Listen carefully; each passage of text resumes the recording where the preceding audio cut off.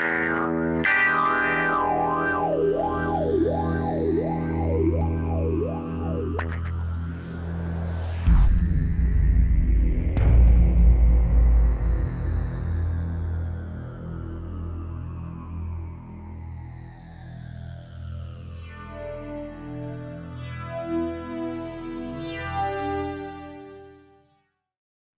talking about Phoenix, obviously, and I have a cheesy uh, tagline, uh, "New Heights," because I've given a talk sometime last year or two years ago called "Phoenix Takes Flight." So now we've reached new heights. Um, but no, but really, this talk's going to be about where Phoenix has been over the last six months, especially where it's been since last ElixirConf. So ElixirConf uh, last year, I talked about some exciting new things we had planned. And today is going to be about uh, some new milestones we hit and some, I'm going to do a demo of the presence features that uh, we have implemented recently. Uh, but the first big milestone is we released Programming Phoenix. So this just came out like oh, a week and a half ago. Uh, it's available in uh, ebook and it should be in print this month. it was about eight months of work and I'm super excited that it's done, but I'm super happy for it to be done because writing a book is, is a uh, terrible experience, but then you forget it's terrible and you want to do it again. So check this out. Um, but one of the biggest things that we had happen is we hit 2 million channel clients on a single server, and uh, this is, was a huge milestone for us. Uh, these weren't just raw WebSocket connections, so these were active uh, PubSub subscribers running uh, supervised channel processes that were being monitored so we could notify the client, you know, if the channel crashed or if it disconnected. Uh, so this was doing uh, quite a bit of work. And to get this kind of scale is not something that I even thought we would be able to do. So I'm going to talk a lot about uh, the process that we went down uh, when doing this. Um, but it took a ton of work. So it took, it was just like two weeks of, uh, of work just to like try to orchestrate this whole uh, benchmarking process. so to, if you've ever tried to benchmark Elixir or Phoenix applications, it's actually very hard to even max your CPU. Uh, so to properly benchmark 2 million channel clients, we had to provision 45 Rackspace uh, Tsung clients. Tsung is an Erlang uh, client library for benchmarking HTTP, HTTP and WebSocket connections. So we had to make like a whole fleet of 45 servers to open 60,000 connections each to one uh, rather large server. Uh, so we got 2 million connections. It wasn't a tiny server. It was a, it was a 40 core, 128 gigabyte memory box, um, which seems crazy, but it's only like $1,300 a month on Rackspace. So probably a similar box would be like $1,000 a month on uh, EC2. And really, if you think like if you can support 2 million active users for $1,000 a month, that's like groundbreaking. I think we're going to really see some innovative new applications and software as a service come in and, and probably eat some other company's lunch for the amount of uh, the reduced overhead that we can get. And it used about 83 gigabytes of memory. So we did stretched this box quite a bit, uh, but it still had plenty of room left. We just ran out of connections to open. And if you go back here, uh, it, we actually were capped at 2 million connections. We had about 2.5 million theoretical connections based on those 45 servers, but when I was setting up, when I was provisioning this box, I set the ulimit, the file descriptor limit, to 2 million as like some crazy high number. Like, surely we never hit 2 million. Um, and that was our cap. And I had forgotten, like, I had forgotten that I had done that. So by the time we realized it was actually the ulimit, uh, I figured 2 million was enough for the Hacker News post of we got this. Uh, and we were paying by the minute, mind you, for like 50 servers. So at that point, I was like, I'm not good, I'm done with this. But um, it was just, so it was a ton of work to do proper benchmarks. So I mean, this took a lot of work. Um, Gary Rennie, he's on the Phoenix Core team. He was instrumental in helping set this up and provisioning all these boxes. Same with uh, Justin Schneck as well. Uh, his company is the one that donated about 40 uh, servers on their Rackspace time. And it was kind of fun. Uh, while we were testing this app, we didn't actually, it was a chat application we were benchmarking, and we had 2 million uh, clients join the same chat room. And we never thought that this would actually be a usable application. And uh, someone said, like, let's go try the app out now. And we thought for sure if you sent a message, it would just like crash the app or something terrible would happen. Um, so immediately, Jose, instead of just posting a message, he went and found, he copied and pasted an entire Wikipedia article into the chat uh, message input and, and sent it, and it actually just sent out to everyone in like two seconds. And this is like the network traffic chart uh, that gets bench that gets uh, graphed out by the Tsung client. And on the right there, you can see that's the Wikipedia article. So we, we saw like a huge, enormous network spike because I had to push a Wikipedia article out to 2 million active subscribers on Rackspace uh, servers. And uh, so we were like geeking out about that, that we could do this. Um, and then we had a, we momentarily panicked because um, we were trying to figure out, Rackspace charges you for bandwidth. And Justin's company had given us 45 servers. And we just sent, a, we kept doing this. So we sent a Wikipedia article to 2 million active subscribers um, across Rackspace network. And then, so we were doing this for a while, and then we were like, wait, is this costing like bandwidth internally? So since it was internal traffic, it was fine, but for a moment, it was like, okay, this might not be a good idea. Um, but this is crazy that this worked. Uh, like, we were blown away. So this is a video I took. We had 2 million users in this chat room, and I brought up two browser tabs. And you can see, like, when the input disappears on the left is when I hit enter, and then, like, two seconds later, it shows up in the other browser tab. So like, so just to give you an idea, like this is what's happening here is I hit enter, it pushes over the channel, and then I broadcast to everyone in the chat room, which is 2 million active WebSocket connections. So that has to do, on the server, that has to do a message send to 2 million active processes, and then serialize that to JSON and push it down the tubes to 2 million connections. And this goes out in two seconds. Like, this is not something that I thought would be possible. Uh, so this isn't a use case we were trying to optimize for. We were just trying to max our PubSub system and tease out bottlenecks. So I'm blown away that this is possible. And you probably wouldn't have a chat room with 2 million people. That wouldn't be a good experience. But you might have uh, a nerves network. So if you imagine like an actual use case of this, you might have weather stations throughout the state, uh, disaster scenarios where the, you're communicating information across some uh, ad, hoc ad hoc network. So I think that I can't think of a use case for 2 million subscribers yet, but the fact that we, on the same, on the same topic, but the fact that we have that is really exciting to me. Um, but the most exciting part of all this was the optimization story, going from uh, what we had initially with a Phoenix 1.0 release to that 2 million mark. It was probably the most fulfilling um, process throughout my entire Elixir and Phoenix journey. Um, so just to give you an idea of where we started, uh, with Phoenix 1.0, I had written the uh, channel layer just you know, using OTP principles, but I wasn't really um, focusing on performance. I hadn't really benchmarked it just because it's so hard to benchmark these things. Uh, so Phoenix 1.0 was all about like we're going to do like a best effort, best hunch guess. Like this should be fast. Um, you know, write it, uh, make it work, and then make it fast. That uh, strategy. So we got 1.0 out, and then I was able to dedicate time to these optimizations. Uh, but I'll just walk you through the optimization story. So we initially set this up, and we got 30,000 active subscribers on one server, which was way too low. We weren't really thrilled with this. So this is where like the crushing self-doubt sets in, where it's like, ah, Phoenix is supposed to be scalable. Like, what, what happened? Is my code terrible? Um, you know, am I gonna have to rewrite everything? But uh, immediately we, we got, we doubled performance. And the cool thing was we actually simplified the code. So the diff here is we added 14 lines of code, we removed 69 lines of code, and we doubled performance. So I was like, okay, that's pretty cool. But 60,000 subscribers isn't like you know the WhatsApp scale that I was hoping for. Uh, but then I fired up Observer and found another bottleneck uh, almost immediately. And then to fix that bottleneck, we simplified the code. We actually removed code again. Added five, added five lines of code, removed 38. And we ended up with the order of magnitude more performance than where we started with. And at this stage, I'm getting pretty excited because now we have hundreds of thousands of connections, and uh, I've actually removed code.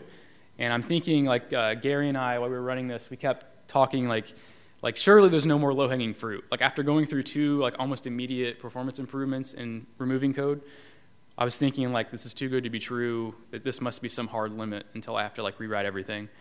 Uh, but after that, we had our biggest performance improvement, which was one line of code change. Uh, it increased our arrival rate by 10 times. So the amount of connections per second that we could establish was increased 10 times, and we added 120,000 subscribers. And we were only capped at 450,000 at this point because the, we started with a smaller 16 gigabyte Rackspace box to test, and we ran out of memory on that box. So the optimizations you see here, the diffs, is what, what we had to do to go from something that supported 30,000 subscribers to 2 million. And this blew me away. Uh, mainly because you know you drink the Kool-Aid of whatever platform you're a part of. Um, it's unavoidable, and there's nothing wrong with it, and Kool-Aid is delicious. Um, but you know, you you know, you listen to talks, you watch videos and books, and you know, we, we preach all these things like functional programming leads more to, to more maintainable code. The Erlang VM is super scalable, and you know the tooling is just uh, super robust. But to actually have that live up to the hype. And that's like all along my journey of creating Phoenix, the, the, the hype has like lived up to reality, and that's been like incredibly satisfying. And that's what happened here, where it's like I actually removed code uh, from something that was like an initial best guess effort, and with very little effort, I went from something that was mediocre performance to something that's world class performance. And mainly because that was a we were using built-in tooling, and we didn't have to like I didn't have to do any complex performance analysis or performance profiling on this code. Uh, what happened was when we initially had that 30,000, 60,000 limit, we fired up Observer during uh, on the remote node. So we ran the server on Rackspace, and you were able to run Observer. If you type in observer.start in IEX, you'll get a GUI. You can actually connect to connect your local observer to a remote node.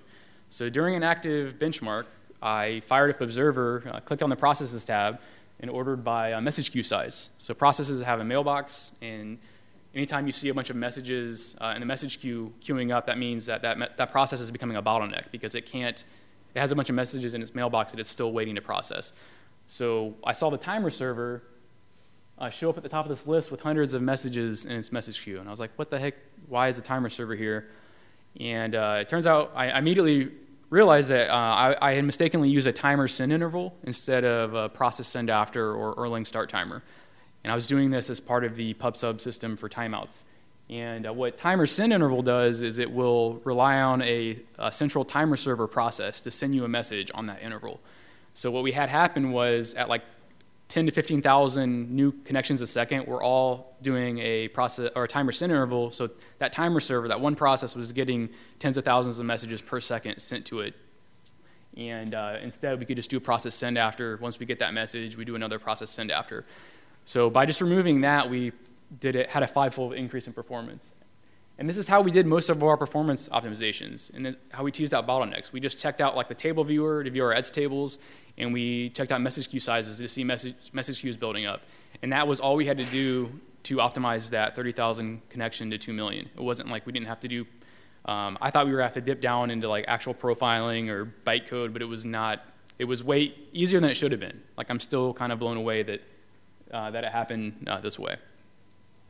And I found a tweet last night, actually, at midnight. Uh, Adam Kittelson uh, tweeted this. He was playing around with Observer, and he spotted a memory leak.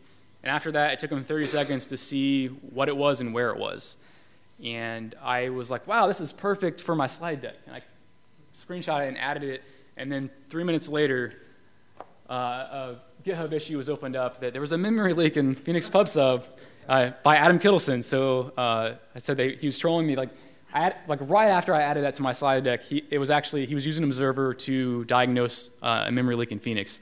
Um, so it was just odd timing. Um, but yeah, it turns out I uh, this so this is a bug that I definitely have to fix, um, but it should be very uh, very seldom hit by most people unless you're doing if you've never done uh, an unsubscribe in the Phoenix PubSub layer, which most people um, don't do, uh, it's not a problem. Uh, but it's definitely an issue. Um, but the coolest thing that plays well in the story is like, you know, Adam, he's been doing Elixir for quite a while. He's active in the community, but he's not, he didn't, he's not on the Phoenix core team. So he, he had saw memory growing his application. You know, he wasn't familiar with the Phoenix code base. He fired up Observer, and in 30 seconds, he was like, oh, there's a bug right here in Phoenix. So for me, it was just another story of how easy it is to diagnose these uh, issues in running systems. But now I have to fix this. Uh, that's for the flight home. Uh, but for our 10 times increase in arrival rate, this was a one line of code change, and this is where like you really need to know your ETS types. Uh, ETS is like Erlang term storage. It allows you to place any kind of Erlang or Elixir data structure into a table and reference it without talking to a process to hold the state. Um, and we, we changed the table type. We started with a bag, which is like a key value store dictionary, and going to a duplicate bag is what gave us that order magnitude performance increase. And uh, what happened was bag, uh, bagged ETS type uh, doesn't support duplicate keys. So insertion is, grows linear in time, and a duplicate bag allows duplicate keys but skips the, the key check, so it, it's constant insertion time. And for us, every subscriber is unique, so we could go with a duplicate bag, and we were able to get huge improvements from that. And you can see on the left-hand side is when we had the initial table type, and the green line is the number of open connections, and the blue line is the number of actually successfully established connections, and they immediately diverge during the benchmark run. And then on the right-hand side, you can see they stay nice and tight. So that was a, an enormous improvement just by changing one line of code. Uh, but at this point, we hit uh, kind of the top end of what we could do. Like, you know, we, we had 50 servers almost up and running, and we had improved. We were able to, able to run 2 million subscribers, and uh, we almost stopped at this point. Uh, but occasionally, what we had happen was one of those smaller uh, Rackspace servers that was opening 60,000 connections would run out of memory because just by opening number of connections, it was maxed at its memory and it would crash. And when it crashed, our PubSub uh, local servers on each node would have to process 60,000 down messages at once, which would lead to timeouts on, a, on the single PubSub local uh, process. Um, so we were thinking, like, is this a real use case? Like, do we need to try to fix these timeouts? Like, are you gonna have, ever have tens of thousands of users signing off at the same time? And uh, maybe, you know, maybe not. You might have, you know, at the end of a broadcast, if you're doing some kind of conferencing or video, you might have thousands of, users drop off. Uh, but at the same time, th- those 2 million broadcasts actually were taking 5 to 10 seconds. At a million, they were taking about uh, 2 seconds, but at 2 million, they were taking several seconds. And we were thinking, like, wouldn't it be nice to get that to around a couple seconds? So we were at the limits of our ETS subscribers and our PubSub local process. Uh, so then Justin Schneck had the idea of, couldn't we uh, shard the subscriptions? And then we immediately realized we could also by sharding the subscriptions, we could pool our local PubSub processes. So if you, if you ever have a bottleneck in a process, like the first thing you do is you, you create a pool of those processes to fix timeouts. So by sharding our ETS tables, we were able to also pool local servers. So we went from something like this, where we used PG2 to broker messages across nodes, to a single PubSub local server on each node backed by an ETS table, to something like this, where we created uh, an ETS uh, shard and for each ETS shard, we had a local PubSub server per shard that would manage its own table. And then we still use PG2 just the same. And this was like 150 lines of code to, to make this change. So it wasn't, it wasn't insane. And uh, we were thinking, like, what do we actually shard by? Like, we know we should shard, but we don't have users. Like, these could be uh, anonymous users. Like, what do you shard by? Um, but it turns out we have a unique identifier, right? We have a process, process ID. So this is code lifted straight out of the Phoenix PubSub uh, library where if you want to convert a PID to whatever shard it should be a part of, this is all it takes. Um, so the nice thing about Erlang is every term has, you can convert it to a binary representation. So we can just call Erlang term to binary and we get the binary representation of a PID. And then you check out the Erlang docs and it will tell you the actual, what, those, what that binary representation is. And you can find out how to lift out, like when I inspect a PID, you get like 0570. If you want that number 57, you can just binary pattern match it out.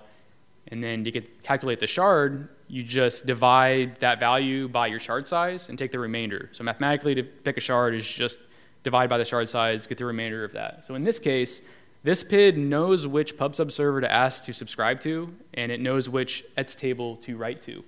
So we're able to easily shard solved our timeout issues because we could distribute those messages across each shard, and then we were able to parallelize our broadcast. So this is what let our broadcast go back down to two seconds because when you broadcast, we have to go. If I'm broadcasting to rooms one, two, three, I have to read from ETS, get all those subscriptions out of ETS, and then send a message to those processes. But now, since ETS is sharded, I just say, okay, what's your shard size? Three? Okay, spawn three tasks, read from each ETS shard, and broadcast in parallel to anyone that happened to be in rooms one, two, three. So this is, this is what let us keep our uh, broadcast super short and also um, fix those timeout issues we had at the very, very top end of uh, those 2 million connections. Uh, so that was PubSub. Like that was, like I said, the, the most gratifying experience I've had uh, just because everything lived up to the hype. We ended up with something that was actually less code and we went from something that was a best effort approach to a world-class solution uh, with shockingly small effort. Like the the hardest part of all this was setting up those 45 servers and forgetting to set the ulimit properly. Um, but it was really gratifying.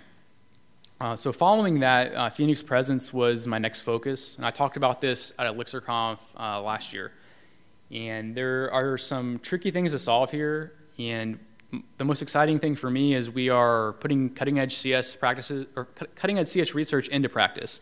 And uh, most people, when they first look at Presence, they're like, like this is stupid simple. Like why are like what do you need cutting edge CS research for? Like are you just you know going off and doing something fun? But there's actually some really tricky problems to solve here, and I'll, I'll, I'll pitch you on why why we're going with the uh, new ideas. So if we look at presence, you know, initially you're like, okay, I want to know who's online. So if I have a user one open a browser tab and a user two open a browser tab, I want to show a list of users, like, right? Like, what's so hard about this? Well, the problem is uh, most people start here and they'll say, okay, if I want to implement this, I'll just create some gen server, uh, presence server that monitors uh, channel processes. And anytime they join, they'll just call a function, and then I'll broadcast that they've joined. Anytime I see that process leave, I broadcast that they leave, and I remove them from some internal state. Uh, so they'll implement something that looks a lot like this. I've seen code uh, just like this. And what happens is when they get a join on their channel, at the top they'll say, you know, presence add, this is some pseudo API, and that will be a gen server call, which will broadcast the join event, add them to some map in some internal state, and then continue on. And then the, if they get a down event, they can say, okay, broadcast that this user has left, and then remove them from the internal state. And uh, people will do a named agent instead of a gen server here, but the named agent can't monitor. Uh, so, the, the, so the worst solution is they'll trap exits in their channel and then call the agent when they crash. Um, so best case scenario is most folks end up here, uh, but we'll walk through the problems that happen. I've been down the same path myself. So what happens if user one opens three browser tabs? We get three duplicate join events. And now what do we do? Are, is that three user ones? Do we show them in the list three times? Or do we have the client dedupe? That'd be one solution, but then what happens if a user closes one of those tabs? Now they left one tab, the server's gonna broadcast a leave, and the client's gonna remove them from the list, but they're still there. They're still there in two other devices or two other tabs. Uh, so the problem is uh, most people don't think about presence as having, you know, a, a there could be multiple unique presences for the same user. The user could be online from their iPad, their iPhone, and their browser at the same time, or just on multiple browser tabs. So a user is not, has not left until they've left from every connected device. So we need a better solution. Uh, but it gets worse though, because the often overlooked problem is if someone will develop this on their laptop and they'll put it in a named gen server or named agent, and then they'll deploy it and they'll add another node. And the problem is that present server is now running on each node, and it was only going to list the users that happen to connect to that node. So we have a data synchronization problem. So this can't work. And at this point, uh, most languages and web frameworks would say, aha, I know how to handle the case where I need access to shared data. We'll just put it in a database. Uh, we'll put, deploy Redis. Problem solved. Um, and I don't want to crap on Redis. Uh, I've used Redis many times in the past. I think it's, I think it's awesome. Uh, but I think the issue is runtimes that don't support a great distribution story, which is most, that you know, they, they push you towards bad solutions. And especially where presence is unique in that it's all ephemeral state, right? Either the user's there or they're not, and when they're gone, that data is gone. So there's no reason to put that data into some cold storage if it's ephemeral state. Like we have a great we have a great place to put ephemeral state in Elixir and in processes. But let's walk through this. So I think like the best case scenario is most frameworks and languages will end up with a solution like this, where they just say, okay, we run some process on each node and we just read and write to Redis or a storage engine. Problem solved. And this works, but there's a critical issue, which most people just avoid or uh, just don't, don't tackle at all, is what if node 2 in this case happens to catch on fire? So boom, node 2 is gone. Now all those entries in Redis or your data storage engine are going to be orphaned because the process responsible for cleaning up those connected users died unexpectedly. And you could say, okay, uh, do we just have some, maybe, maybe have a storage engine that supports expiration? So you end up with like more and more convoluted layers. And it's like, well, what if the user stays connected beyond their expiration time? Do we have to like heartbeat in every entry in the storage engine to like bump its, its timer? Or you have every other node try to clean up any other node that it saw die. But now if you have dozens of nodes, you imagine if you have dozens of nodes, all those other nodes are going to have to be competing to write to Redis to clean up everyone else, and it becomes a non scalable solution. Uh, so there's a better approach here. This can't work. We have to handle a couple problems. So we need to handle local node concerns. So we have to account for pre unique presences for the same user. And multi-node concerns are we have to handle node down events. And this is something that um, almost no one handles properly. And multi-node concerns also is we have to replicate the data across the cluster. So this is where the uh, cutting edge uh, CS research really comes in. Uh, so our, our ideal solution is something where we want to have no single source of truth because we don't want to rely on some central storage engine. And that would actually give us no single point of failure. So we're getting some benefits here where we are able to make our system more robust and able to make it more performant because we don't have this single source of truth that everyone has to hit for data. And we can do this with a CRDT and a heartbeat or gossip protocol. And I'm not going to get into CRDTs. Uh, Alexander Songe, he gave a, a, great talk at last ElixirConf about CRDTs, um, but he, he, is the one that imp that's implementing our CRDT for Phoenix Presence. And uh, CRDT stands for conflict-free replicated data type, and if, you're, if you know about CRDTs, uh, Phoenix Presence implements an ORSWAT, which is an observe, remove, set without tombstones. Uh, I'm not going to talk about that, but check that out. Um, but what, what they give us at the high level is we can support replication without remote synchronization. And this is huge. So CRDTs, you, you implement strategies for updates that, in a way that's mathematically impossible to have conflicts. So we don't have to have like global locks or some kind of a consensus algorithm anytime we add or remove data.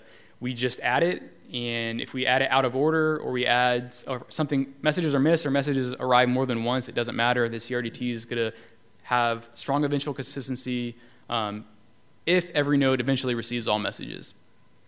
And the CRDTs are very, very hard to implement correctly. So it's like if the code is like almost correct, it's not correct at all. So CRDTs like have to be mathematically correct. So if you're interested, the Phoenix uh, tracker has a Phoenix tracker state module that implements an ORSWAT.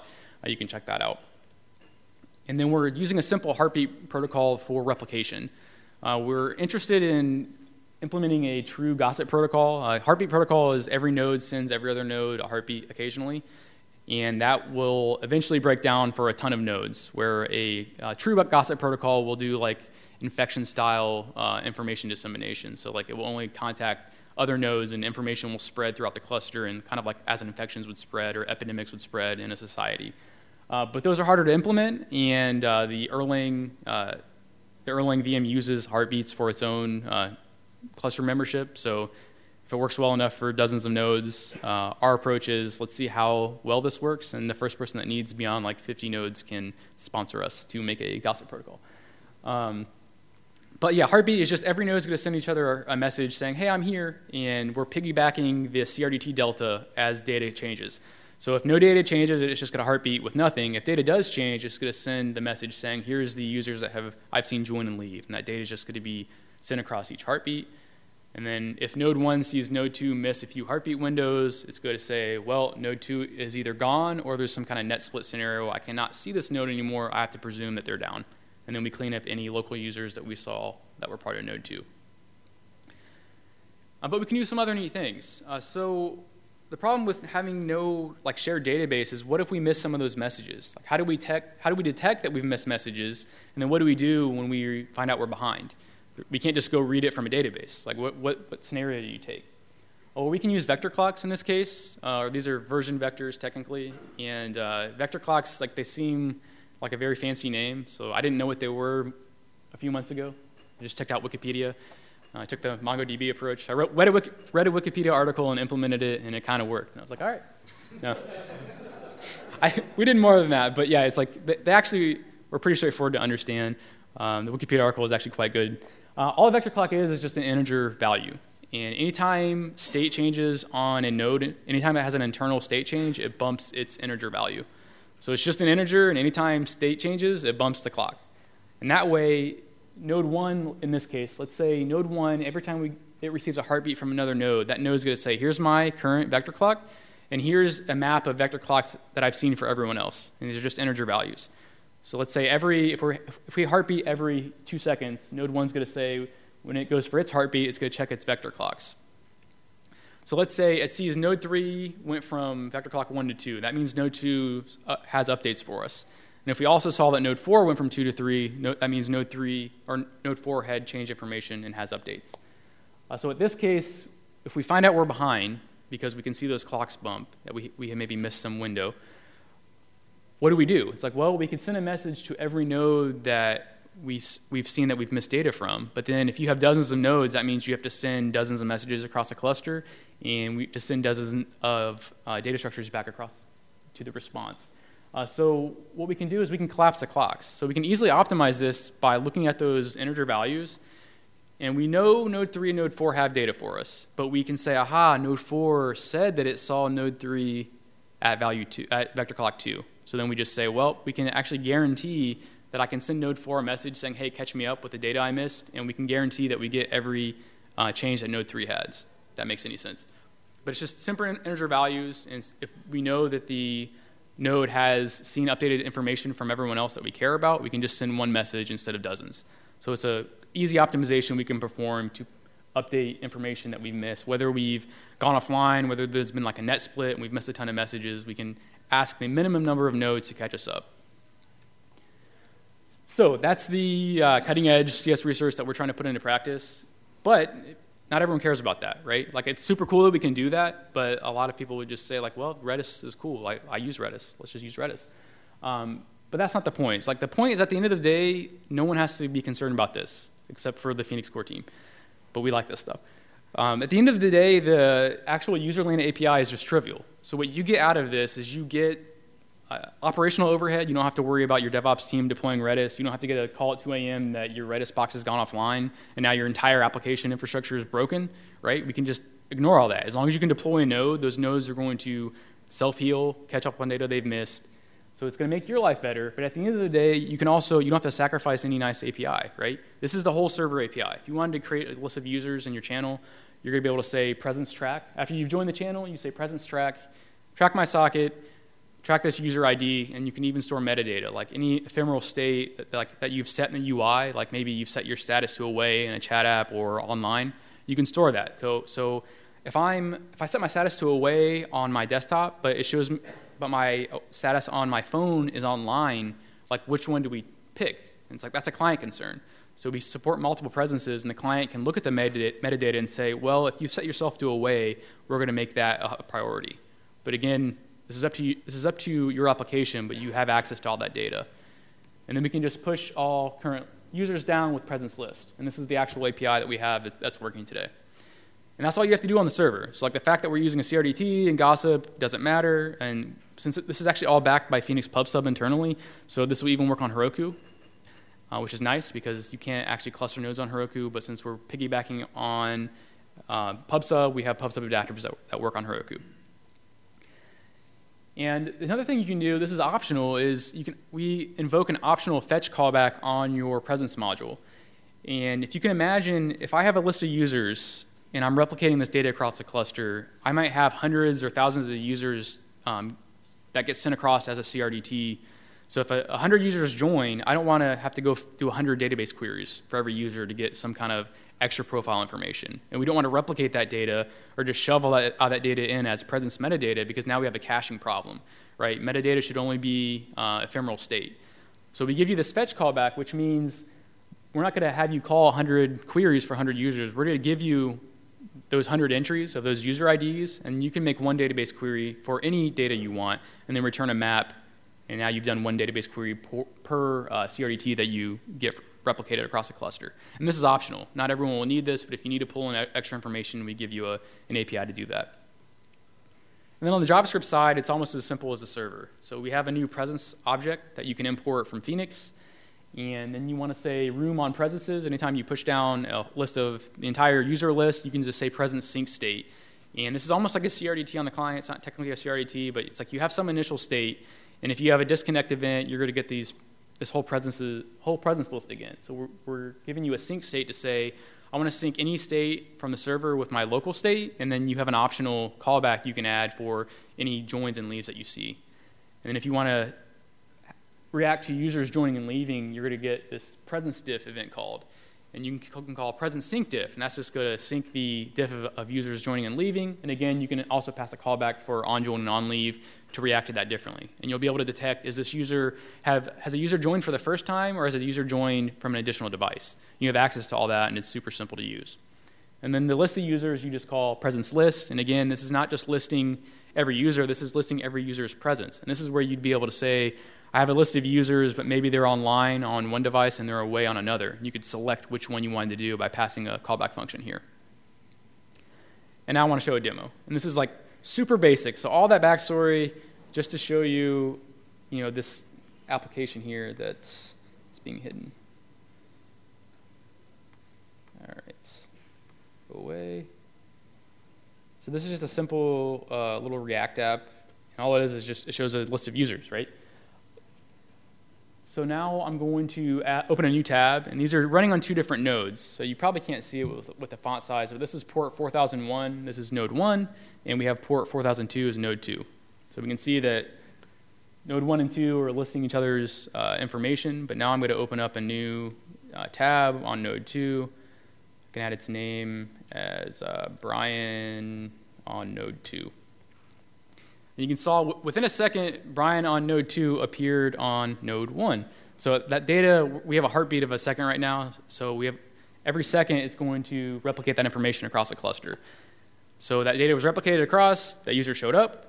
We could attach meta metadata if we wanted to about that status. And now if I show my two original tabs, I'm going to close that second, I'm going to close Brian's tab. And we should see him immediately disappear from node 2, and then within a second, he should disappear from node 1. And he's gone. So we have like the basic case of like, have a, has a user, uh, has their process joined and left, that works. But now we've even handled the tricky case of node down. So both these servers are running, they're clustered together. I'm going to kill node 2 now. So node 1's on the top and node 2's on the bottom. Node 2 is now gone, and we should see node 1 detect this failure in just a moment. There it is. So we saw a node 1 here says, I've seen a node down from node 2 because it missed those heartbeats. And if we go back to our browser tab, we can see that uh, Chris-N2 is gone from node 1. So we were, we're handling that tricky edge case that almost no one handles properly for you. Uh, but the cool thing is recovery. So if I go back, I'm going to have this uh, cluster recover. Node 1 still running. I'm going to start node 2 back up. It's lost all its information, but node 1 already detected, hey, a node just came up. If we wait a second, this is the coolest part, they uh, synced each other up, up to date with information. So we can see that node 1 sent a transfer request to node 2, because as far as node 1 is concerned, it saw a new node come up, but that node could have been on the other side of a net split. So that node may have new users that have connected to it. So they both sent a message to each other saying, hey, please catch me up with data. And then we can see node 2 received a transfer acknowledgement from node 1 and then got that replicated data about everyone else in the cluster. And if we go back to our browser tab, we can see that uh, node 2 is connected. So even the, the browser client, Phoenix.js, has exponential backoff recovery. So even the browser tab on the right reconnected to the channel process, which tracked the Chris node 2 presence again, which replicated the data back across on the left. So uh, there's Phoenix presence. So it's just to show so of users is actually ton of problems to solve correctly. And it's not quite ready yet, so like this works, uh, but we have some problems to solve in our CRDT still. Uh, the delta that we send across uh, kind of works. Uh, so right now, we have to send the whole CRDT instead of the CRDT delta, which for thousands of users would not scale well. Uh, but we will solve that, and I can't give a, a, super hard release date, but maybe in the next uh, month or two, I'd love to have this out. Um, you know, the, the, JavaScript API works, the, the server API is in place. It's just a matter of um, implementing this correctly. And if you have experience with CRDTs and we, or gossip protocols, we'd love someone to help verify our implementation. So that's Phoenix presence. Uh, now I want to talk about Ecto 2.0. Uh, this is out in beta, and there's a lot of really cool things happening, so I think they're worth mentioning. Uh, the biggest thing, at least the biggest feature that I wanted was subqueries. This is something that we've really longed for at Dockyard. Uh, in Ecto, previous to 2.0, you know, if you wanted to query, let's say in this case, calculate the average number of visits per post, you'd write a query like this. But then you couldn't actually do a sub-select from that query. It's like we're in SQL, if you wanted to say select from, paren, select, you couldn't do that. It was just impossible uh, without doing uh, raw SQL fragments. Uh, but in Ecto 2.0, if I want to do something like, okay, given this query of the average number of visits per post, I want to select only the average number of visits for the top 10 posts, let's say. Now in Ecto 2.0, we can just say uh, from P in subquery, so subquery of that query, select the average uh, visits. And this allows us to compose queries uh, as subqueries. And it just works for everything. So you can even give it ag aggregates like the average, and it's going to do a subselect on that. Uh, so for me, this is a huge feature, and it's going to clean up a lot of uh, nasty raw SQL. And uh, we also got many-to-many associations. Uh, this is another, probably the most the most requested feature, yeah. So you just say many to many, you give it the join table, and it just works. Uh, so that's awesome. You know, we got some other other great features. So uh, concurrent uh, transactional tests were, were a huge feature. So if you noticed before, uh, any new Phoenix app you generated, uh, you had to do async false in your tests anytime you hit the database. Uh, but now we can run each test in its own uh, transaction. So you can run your tests in parallel. Tests are going to be a lot faster, and then it just works. You don't even have to think about it. And now you can also insert data directly with structs. Um, you used to have to, uh, prior to Ecto 2.0, you had to do like a build uh, assoc, so build the association and then put it into uh, your uh, parent. But now you can just actually provide the raw structs, like comments in this case. I can just give it a, a list of comment structs, and Ecto is going to properly uh, insert that data. And then these are just very much maybe ideas, right? Um, the coolest thing for me for uh, throughout this whole PubSub and presence process is I, if you if you watched the first ElixirConf uh, a couple years ago, I talked about uh, distributed web services and service discovery, and that's something I always thought would be very far off for me to look into. But it turns out uh, solving these presence ideas pretty much gives us service discovery. Um, I've even, even implemented a proof of concept of it. So what we have is presence internally is implemented on a Phoenix tracker uh, behavior, and the Phoenix tracker does uh, membership, cluster membership, because we have to detect node up and down. And we can also store uh, data and callbacks on nodes going up and down. So that's pretty much service discovery. Like if we have a presence, if I have a, uh, a process that wants to say I can do user registration, it can just use the existing uh, presence implementation and register that presence, and its ID would be the name of the service that it's a part of. And that data would just be replicated across a cluster. And if we saw a node go down and it happened to do user registration, we could then dynamically spawn another uh, another present or another user registration service. Or, uh, as Jose and I were talking about this, we, we allow you to store metadata on the presences. So if you imagine on your whole cluster could start up multiple, uh, the web crawler is a good example. If I have multiple web crawlers, that's kind of expensive. I could start up X number of them on the cluster, and then I could do a, a presence list. So instead of showing me a list of users that can do web crawling, I could say, show me the services that do web crawling, and the metadata could be the amount of current jobs that that service is processing and then you could just sort by the least number of jobs and you'd have load balancing. Like the client would load balance and call the service that has the least number of jobs in its queue. So you can do some really neat things on top of presence, outside of the web context, outside of the chat room context. And then in the future, I want to really look into optimizing presence with a true gossip protocol. Uh, SWIM is one that we're looking at that's doing uh, epidemic or infection style information dissemination. But that's I have a, a CM SWIM branch, um, but that's not something we want to go down until we see that the heartbeat is hitting some kind of wall. And I think at that point, anyone that hits that wall is going to sponsor the project because they're going to be doing extremely well.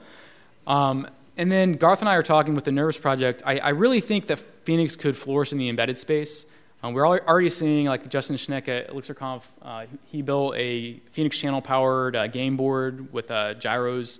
So he was sending gyro information from his iPhone over channels to the game board Pi that was controlling the gyros on the board. I, I, think we'll see really neat applications of Phoenix outside of the web space, uh, especially in the embedded space.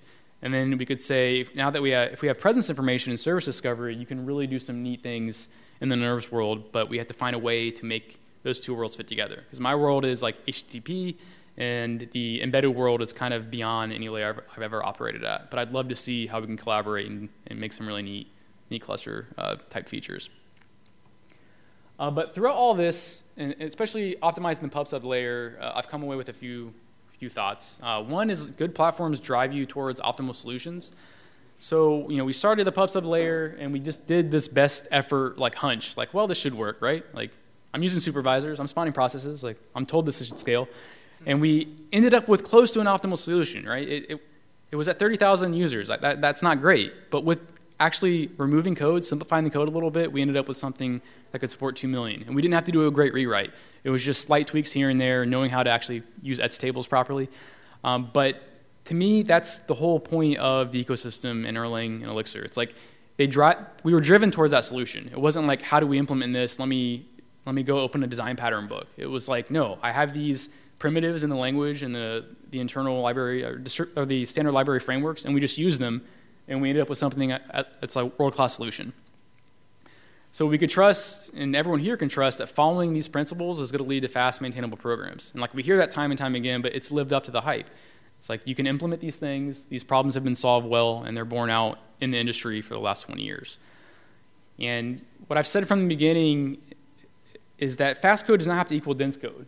And the pub sub optimizations prove that. It wasn't like we're handling web requests like this standard thing we know how to solve. It was, okay, we've got this complex pub sub implementation, we're sharding, but I didn't have to like throw away, uh, or I didn't have to write fast code and like make my code really complex, right? And then the flip side of that is productive code does not have to equal slow code. So I can write code as a happy path, like the, the beautiful code that I like, right? I think some people frown upon calling code beautiful, but for me, like coding is a very creative process, and I like to write code that I like perceive as like something of beauty.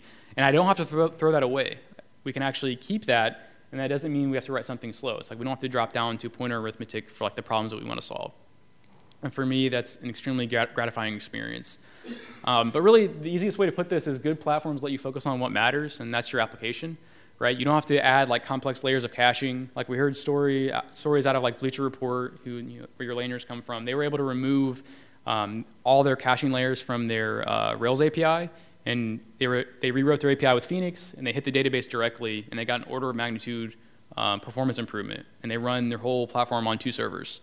And they only run two servers because they want redundancy in case one catches on fire.